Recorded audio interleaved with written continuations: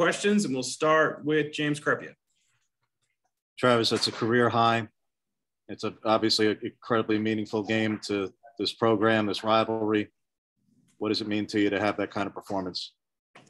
Um, you know, it the W means everything to me, you know, but uh, you know, the performance is just a plus. Um, my linemen did their job, you know, my quarterback did his job, my receivers did their job.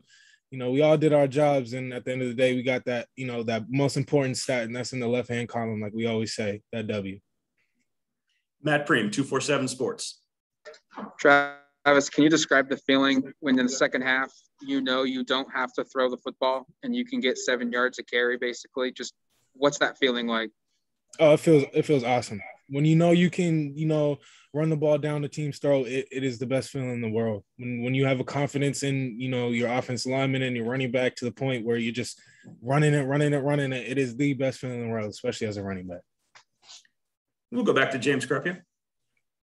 Take us through the touchdown in the fourth quarter, Travis, where Walk goes down at the end of the third. George comes in, he pulls around for you, and AB gives you the last block at the end there. What are you seeing on that? Man, it, I seen George come around with the pull, and number six was, you know, he was he was a little hesitant, you know, and uh, it was a nice setup that I gave him, and George, you know, took care of business with him. And then I just saw AB run across my face, but he he's always doing that though. He's always trying to make a block downfield, you know, and uh, it was just a beautiful play. Eric Skopil, two four seven Sports. Travis, can you speak to the defense's play there in that first half? Offense got off to a slow start, and, and it seemed like they really kind of curbed the momentum and, and, and limited Washington's ability to build a bigger lead. Hmm. Yeah, defense. You know, they they they saved us a lot today and uh, they stepped up big when we needed them to step up. They had our back. You know, uh, big shout out to Jeff Bassa. You know, he he played like an animal today. Um, young guy, just stepping up, doing doing his thing. Luciano with end zoners. Hey Travis, what surprised you the most about their defense tonight that made it hard on you to be able to move the ball in the first half? Um, I wouldn't say anything was surprising. You know, we were prepared to the T. Um, we just came out and we were shooting ourselves in the foot. You know, we we were beating ourselves. You know, it wasn't that, you know, not quite that Washington was beating us. You know, we we could have moved, we were moving the ball when we wanted to. It was just, you know, we were shooting ourselves in the foot with penalties and, you know, turnovers and stuff like that. You know, but so we got to clean up those kinds of things and uh, get back out here next week stronger. Matt Prehm, 247 Sports. Travis, do you feel like the game turned in your favor when the defense got that stop on fourth down in the second quarter, and then you guys marched right down and, and scored. It really felt like you took Washington's best effort and got the win at that moment.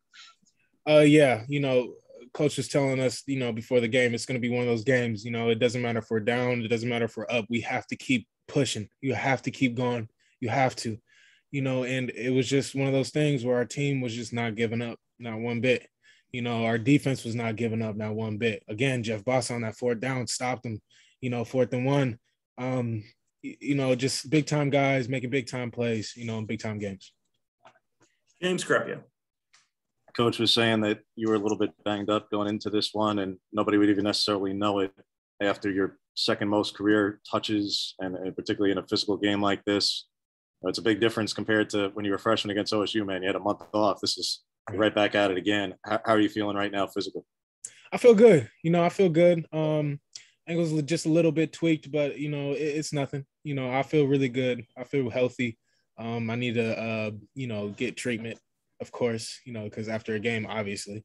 Um, but I feel, I feel really good. Looks like uh, we got two more questions for you, Travis. We'll go to Eric Skopil first. Travis, you let yourself, I guess, enjoy and reflect on the fact that you guys, you in particular, had such a big day, and, and you're kind of your your place in history now in this rivalry. I think this is the second largest number of all-purpose yards from a, an Oregon player in the series.